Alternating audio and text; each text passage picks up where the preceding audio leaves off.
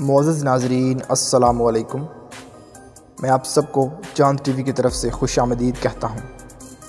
आज मैं इस वीडियो में आपको अंगोला के बारे में अहम मालूम फ़राहम करूँगा और कुछ दिलचस्प हक़ बताऊँगा जो आपने यकीनन कभी नहीं सुने होंगे। अंगोला जमहूरिया जनूबी अफ्रीका के मगरबी साहल पर वाक़ एक मुल्क है। ये अफ्रीका का सातवां सबसे बड़ा मुल्क है। अंगोला का दारकूमत और सबसे बड़ा शहर लवांडा है। बारह लाख छियालीस हज़ार छः सौ बीस किलोमीटर पर अंगोला दुनिया का तेईसवां सबसे बड़ा मुल्क है, जिसका साइज़ माली, फ्रांस या टेक्सास से दुगना है। मज़ीद आगे बढ़ने से पहले दोस्तों, मेरी आपसे गुजारिश है कि आप मेरे चैनल को सब्सक्राइब कर दें और साथ वाले बेल आइकान को प्रेस कर दें, ताकि मेरी आने वाली वीडियोस का नोटिफिकेशन आपको मिल जाए। अंगोला की आबादी दो करोड़ तरतालीस लाख तिरासी हज़ार तीन सौ एक बशिंदों पर मुश्तमिल है। अंगोला की सिमत जनूब में नमीबिया, मशरक़ में जैम्बिया, शमाल मशरक़ में कांगो जमहूरिया और मगरब में जनूबी बहरा ओकियानूस की सरहदों से मिलती है। शमाल में कमेंडा, साहली फजले के शमाल में जमहूरिया कांगो और जनूब में जमहूरिया कांगो की सरहदें हैं। अंगोला का दारकूमत लवांडा मुल्क के शमाल मगरब में बहरा ओकियानूस के सहल पर वाक़ है। मार्च 2016 तक अंगोला को 18 सूबों और एक सौ बल्दियात में तकसीम किया गया है। बल्दियात को मज़ीद पाँच कम्यूनस में तकसीम किया गया है। अंगोला की पुर्तगाली सकाफ़त और ख़ास तौर पर ज़बान और मज़हब के लिहाज से और अंगोला की देसी नस्ली ग्रोहों की सकाफ़त जो बुनियादी तौर पर बिंटू सकाफ़त से बहुत ज़्यादा मुतासर है। अंगोला की ज़बानें असल में मुख्तलिफ़ नस्ली ग्रोहों और पुर्तगालियों के ज़रिए बोली जाती हैं।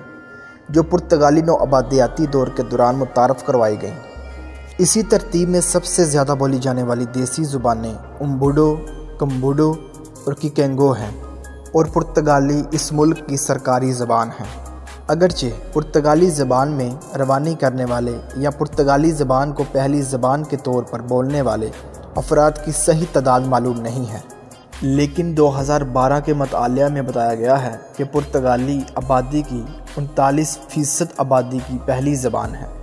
2014 में अंगोला में इंस्टीट्यूट नेसिबनाल्डी एस्टीटा स्टीका के ज़रिए करवाई गई एक मरदमशुमारी का तस्करा है कि अंगोला की तकरीबन पच्चीस शारिया आठ मिलियन बशिंदों में से एक शारिया पंद्रह फ़ीसद पुर्तगाली को पहली या दूसरी ज़बान के तौर पर इस्तेमाल करते हैं।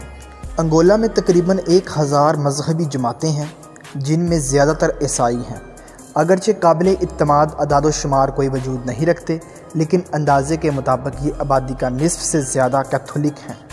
जबकि नो आबादियाती मदत के दौरान मुतारफ़ कराए गए प्रोटस्टेंट गिरजाघरों की पैरवी करते हैं। जमातें बुनियादी तौर पर वस्ती पहाड़ियों के विम्बेंडो और साखली खत्े के दरमियान हैं। अगरचे कानून के मुताबिक अंगोला में तालीम लाजमी और आठ सालों के लिए मुफ़्त है। लेकिन हकूमत के मुताबिक स्कूलों की इमारतों और उस की कमी की वजह से एक फ़ीसद तलबा तालीम नहीं ले रहे हैं। तलबा अक्सर स्कूल से मुतक इजाफी अखराज की अदायगी करते हैं, जिनमें किताबों और सामान की फ़ीस भी शामिल है। हैज़ा, मलेरिया, रिबीज और अफ्रीकी नक्सर की वबा, जैसे मारबर्ग, हेमब्रज, बहार की वबा, मुल्क के मतद हिस्सों में आम बीमारियाँ हैं। इस मुल्क में बहुत सारे खितों में तपदक के ज़्यादा वाक़ात और एच आई वी के पाए जाने की शर्क ज़्यादा है। डेंगी, फैलियारियासिस, लशमानियासिस और अनकोसरियासिस कीड़ों से लगने वाली भी दीगर बीमारियाँ हैं, जो इस खत्े में पाई जाती हैं। अंगोला में दुनिया में बच्चों की अमवात की शर्ख सबसे ज़्यादा है और दुनिया की सबसे कम मतवक़ा ज़िंदगी की तो हैं। अंगोला का बास्केटबॉल सबसे मशहूर खेल है। इसकी कौमी टीम 11 बार अफ्रो बास्केट जीत चुकी है और बेशतर टाइटल्स रिकॉर्ड अपने नाम कर चुकी है। अंगोला चार बड़ी बंदरगाहों और भरपूर कुदरती वसाइल के साथ 1600 किलोमीटर सहली पट्टी का हामिल है। ये अमकानी तौर पर अफ्रीका के एक अमीर तरीन ममालिक में से एक है। अंगोला में हीरे, तेल, सोना, तांबा और भरपूर वर्ल्ड लाइफ जंगल और जवाशम ईंधन है। आज़ादी के बाद से तेल और हीरे सबसे अहम इकतसादी वसाइल रहे हैं। अंगोलन खाना जंगी में समाल होल्डर और शदरकारी ज़रात में ड्रामाई तौर पर कमी वाक़ हुई, लेकिन 2002 के बाद इसकी बहाली शुरू हो गई। इसके अलावा आलमी बैंक का तखमीना है कि अंगोला की वाफर जरहेज ज़मीन की तीन फ़ीसद से भी कम काश्त की जाती है और जंगलात के शोबे की मुआशी सलाहियत बड़ी हद तक गैर इस्तेमाल शुदा है। यहाँ आबादी का मैार ज़िंदगी कम है और अंगोला में ज़िंदगी की तो दुनिया में सबसे कम दर्जा बंदी में है। जबकि बच्चों की अमवात भी सबसे ज़्यादा है। अंगोला की मुआशी नमो इंतहाई नाहमवार है, क्योंकि इस मुल्क की बेशतर दौलत आबादी की गैर मुतनासब छोटे शोबों में मरकूज़ है। 2008 तक अमेरिकी महकमा खारजा का अंदाज़ा है कि मुस्लिम आबादी अस्सी हज़ार से नब्बे हज़ार है, जो आबादी का एक परसेंट से भी कम है। जबकि इस्लामी अंजुमन अंगोला ये तादाद पाँच लाख के करीब रखती है। मुसलमान ज़्यादातर मगरबी अफ्रीका और मशरक़ी वस्ती ख़ास तौर पर लिबनान, की तारकिन वतन पर मुश्तमिल है। हालाँकि कुछ मकामी मज़हब पसंद हैं। अंगोला की हुकूमत किसी भी मुस्लिम तनजीम को कानूनी तौर पर तस्लीम नहीं करती है और अक्सर मसाजिद को बंद कर देती है या इनकी तमीर को रोकती है। 2003 के बाद से चार लाख से ज़्यादा कांगोलीसी तारकिन वतन को अंगोला से बेदखल कर दिया गया है। 1975 में आज़ादी से कबल अंगोला में तकरीबन तीन लाख पचास हज़ार पुर्तगाली की कम्यूनिटी थी, लेकिन आज़ादी और इसके नतीजे में हाना जंगी के बाद बड़ी अक्सरियत बाकी रह गई। ताहम हालिया बरसों में अंगोला ने पुर्तगाली अकलीत को बाजियाफ्त किया है। अंगोला का इलाका पैलोथिक दौर के बाद से आबाद है, जिसमें मुख्तलिफ़ किस्म की नस्ली ग्रूहों, कबाइल और रियासतों की मेज़बानी की जाती है।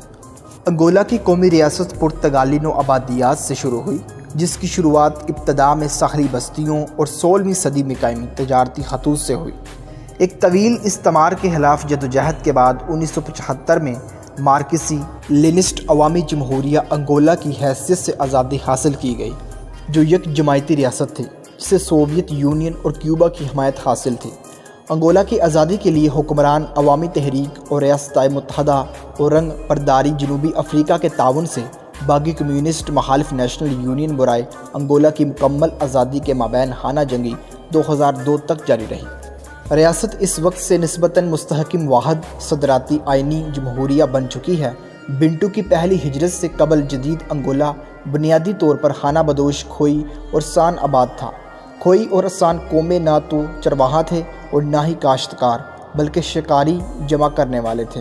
पहले हज़ार साल कबल मसीह में बिंटू की शमाल से आने वाले लोगों ने इनको बेघर कर दिया, जिनमें से बेशतर का अमकान इसी शमाल में है, जो आज शमाल मगरबी नाइजेरिया और जनूबी नाइजर में है। बिंटू बोलने वालों ने केले और तारों की काश्त के साथ साथ मवेशियों के बड़े रेवर, अंगोला के वस्ती हाई लैंड और लवांडा के मैदान में मुतारफ़ करवाया। अगर आपको मेरी वीडियो पसंद आए तो मेरे चैनल को सब्सक्राइब कर दें और इस वीडियो को लाइक और शेयर कर दें।